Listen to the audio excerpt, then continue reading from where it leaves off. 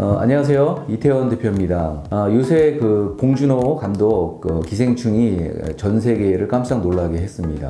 아카데미상을 정말 4개나 어, 더불어 뭐 여러분 다 아시다시피 BTS 같은 경우도 그렇고 지금 뭐 서구권에서도 우리 한류가 대단한 것 같아요. 근데 또 저기 지금 만화하고 애니메이션 이제 관련돼 가지고 특별히 이제 그 웹툰에 대해서 오늘 좀 얘기를 좀 드리려고 그러는데 웹툰이 저희 나라가 그 종주국인 거 알고 계시죠? 저희 나라가 가장 먼저 시작을 했고요. 국내를 기점으로 해가지고 굉장히 이미 활성화돼 있고 또 네이버, 뭐 카카오를 중심으로서 글로벌하게 지금 굉장히 확장이 되고 있습니다. 그런데 좀 안타깝게도 우리가 지금 뭐 저도 입시학원 만화 관련된 입시학원부터 한 20년 거의 가까이 만으로 한 17년 됐습니다.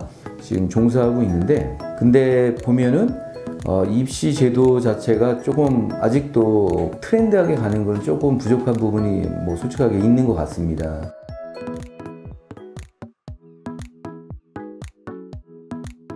근데 이제 그러면서 이제 이 웹툰이라는 새로운 장르가 확장이 되면서 음, 그 많은 대학이 이제 뭐 만화 창작학과 요즘에는 이제 웹툰학과라고 아예 명칭을 해가지고 나오고 있어요. 근데 뭐 여러분 아시다시피 뭐 웹툰학과가 그렇다고 해서 뭐 흔히 얘기하는 학벌 중심의 스카이대에는 사실 이 학과가 개설되어 있지는 않아요. 그럼 어떻게 보면은 이 분야가 뭐 내가 어디 학교 나왔어, 어디 학벌이야, 뭘 하, 하기에는 좀 어려운 부분.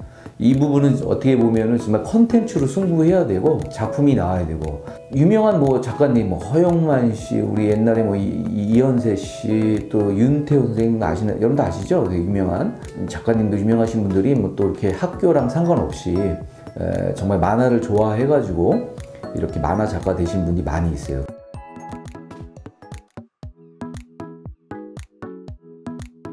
그래도 좀 다행스러운 게 이게 이제 학문으로 또 인정을 받고 그래서 그 요즘에는 이제 뭐 청강문화 산업대라든지 뭐 여러 전문대 또 그 외에 아까 4년제 대학에서도 이런 학과가 지금 되게 활성화되고 있고 인기가 있죠.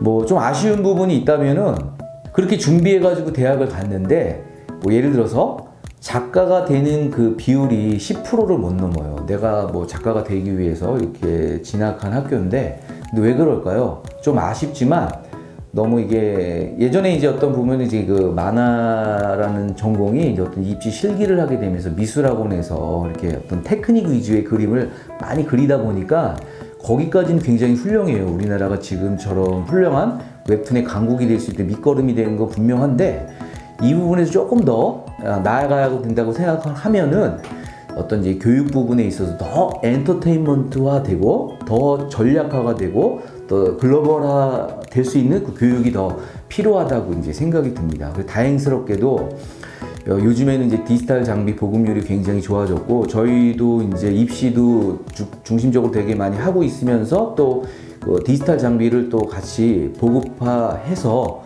어, 아카데미에서 뭐 신티크라든지 이런 장비를 통해서 그래픽 툴도 배우면서 또 그것을 가지고 포트폴리오도 만들고 이렇게 대학도 진출하고 이렇게 어, 진행하고 있습니다.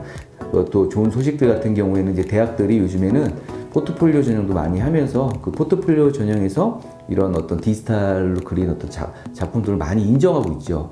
저희도 이제 유학 클래스가 있는데 뭐 미국 같은 경우에는 뭐 디지털을 100%로 해도 장학생으로 이렇게 선발도 하고 어, 우리 우리나라 이제 4년제 때 유명한 뭐 한국종합예술학교도 우리 학생이 이제 디지털로 다 그렸는데 뽑혔어요. 그래서 그런 부분 디지털에 대한 이해도 이런 것들이 많이 필요하고 물론 이제 대학에서는 그런 장비를 다 갖추고 디지털로 뭐 시험을 본다 이런 거 쉽지는 않겠죠. 하여튼간 그런 흐름에 있다라는 건 사실입니다.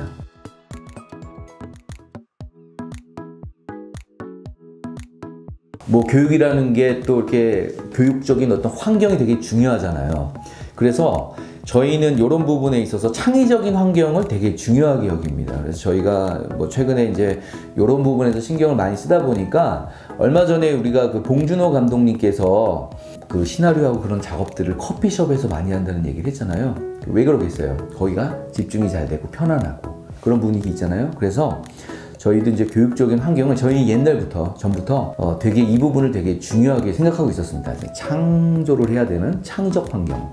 또 마음이 편안해야 또 나올 수 있으니까 그 편안한 분위기, 편리하게 쓸 수 있는 디지털 장비. 뭐 포토샵이나 이제 클립 스튜디오 정품 소프트웨어를 설치해가지고요. 정정당당하게 예, 수업에 임할 수 있다고 생각이 듭니다.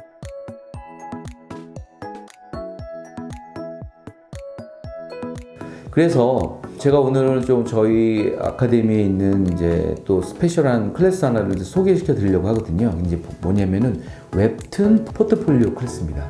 얼마 전에 한 몇 주 전인가 제가 저 애니메이션 포트폴리오 클래스 소아라는 클래스를 설명해 드렸는데 그와 이제 좀 비슷하게 이 클래스는 이제 정말로 웹툰을 좀 해보겠다라는 이 길에 대한 어느 정도 확신 있는 어떤 뭐 입시를 준비한 학생들 그렇게 그런 분들이 어떤 이 작가가 되기 위해서는 기본적으로 역량이 필요해요. 그 역량을 하기 위해서 우리가 이제 미술학원에서 드로잉이라든지 테크닉을 굉장히 위주로 많이 배우잖아요.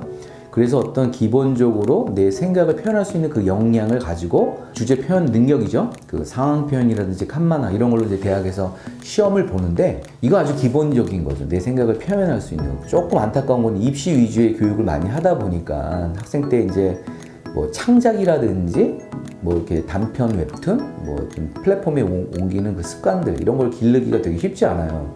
그런 여파가 이제 뭐 이제 전문대 뭐 2, 3년 그 사이에 적응할 수 있는 그 충분한 시간이 없다 보니까 대학 이후에 바로 이제 연재 들어가는 분들이 작가님들이 많이 없는 것 같아요. 시간이 좀 길어지고 있다는 좀 아쉬움이 있죠. 그래서 제가 이제 오늘 이제 우리 클래스를 좀 소개를 좀 드리면은 예, 저도 기본적인 역량이 어느 정도 갖춰져 있는 분들이라면 어, 이제는 이제 한 차원 더 넘어서 스토리를 구성하고 기획하고 그거를 디지털 웹툰을 실질적으로 포트폴리오를 만드는 그런 과정이 되게 중요하다라는 거죠. 저희가 이제 그 한 뭐 AB 엔터테인먼트라고 웹툰 엔터테인먼트를 운영하고 있어요. 그래서 이제 경험 많은 뭐 레진 코믹스라든지 다 각종 어떤 이제 PD 학교를 마치고 전문가 영역을 밟은 또 전공자 출신들이죠 다 그런 분들 PD님들 네 분이서 저희 이제 엔터테인먼트 운영하면서 소속 작가 한 50여 명의 작가하고 현재 한 10작품 정도 저희가 연재를 진행하고 있고 준비하고 있습니다. 그래서 이제 사실은 이, 이 웹툰 산업계에 대해서 어느 정도 읽을 수 있는 그 정보와 힘이 있어요. 그래서 저희가 이제 또 음, 웹툰 이제 아카데미까지 운영을 하는데 그 지도하시는 선생님들이 현직 지금 연재하거나 잠깐 휴직 중인 그 작가님들 100% 구성이 돼 있어가지고 그 클래스들 지금 제가 말씀드린 이 클래스가 실적이 나오고 있어요, 진짜로. 그래서 예를 들어서 뭐 네이버라든지 이런 데 이제 예선도 통과하고 플랫폼에 배운 학생들이 작가로 데뷔하고 있다라는 거죠.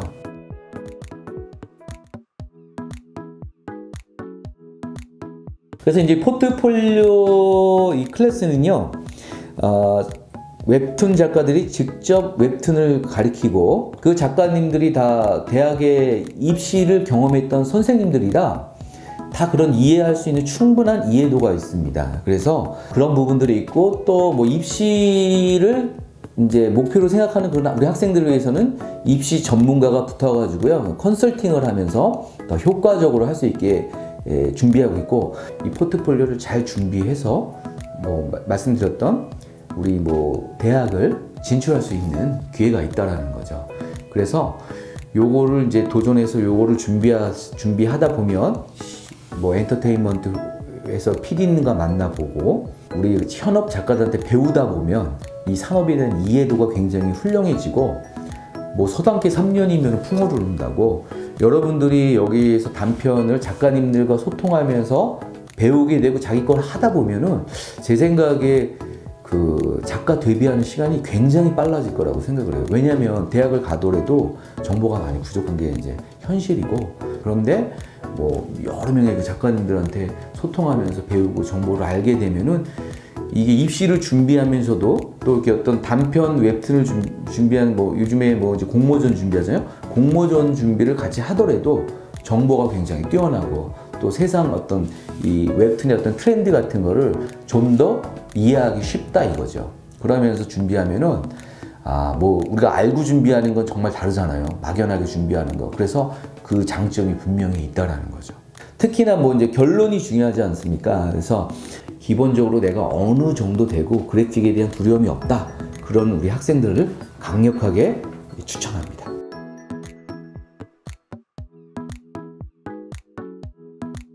어, 이제 최근에 이제 기억나는 거는 저희 이제 뭐 이 학생 아마 재수생일 거예요. 어느 정도 이번에 이제 합격을 한 재수생인데 필력이 되게 좋아요. 근데 이 친구가 이제 포트폴리오를 준비하면서 합격과 동시에 저희 엔터테인먼트랑 같이 소속을 해서 지금 이제 작품을 연재할 작품을 준비하고 있다. 이런 이런 이제 어떻게 보면은 좋은 환경을 이루고 있다라는 게 예, 주목할 만한 저희의 강점이 아닐까 이렇게 생각이 듭니다. 뭐 다음 기회가 되면은 제가 어떤 이 엔터테인먼트 교육, 특히 이제 웹툰 교육 같은 경우에 대해서는 제가 특집으로 또 한번 어, 시간 내서 전문적으로 한번 아, 집중 조명해서 여러분께 또 설명해 드릴 수 있는 시간을 갖겠습니다. 오늘은 이제 짧게 요 클래스에 대해서만 이제 설명을 드린 거고요. 아, 여러분들한테 계속 이제 힘내시고요. 꿈은 이루어집니다. 시간이 좀 걸릴 뿐인데 두려워하지 마시고 걱정하지 마시고 차근차근 하루하루 기쁜 마음으로 편안한 마음으로 어, 준비하시면 여러분도 다 훌륭한 멋있는 작가님 될 거라고 어, 믿어 의심치 않습니다. 아 깜빡했네요. 구독, 좋아요, 또 궁금한 거 댓글 남겨주십시오. 네, 그러면 여러분들 더 좋은 하루 될 줄 믿습니다. 파이팅!